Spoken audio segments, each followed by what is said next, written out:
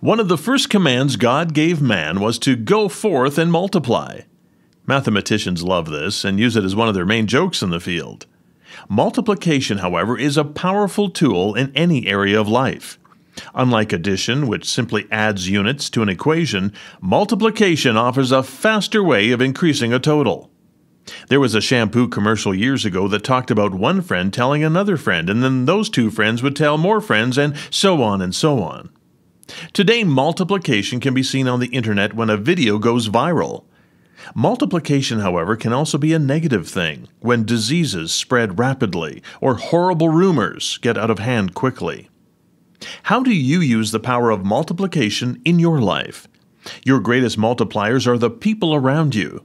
Do you use your interaction with them to quickly increase positive ideas, or do you multiply negative ideas by spreading gossip or discouraging those who wish to do good? We all use the power of multiplication every day. Use yours for good. Now, go forth and multiply. I'm Gord Klassen, and that's a closer look.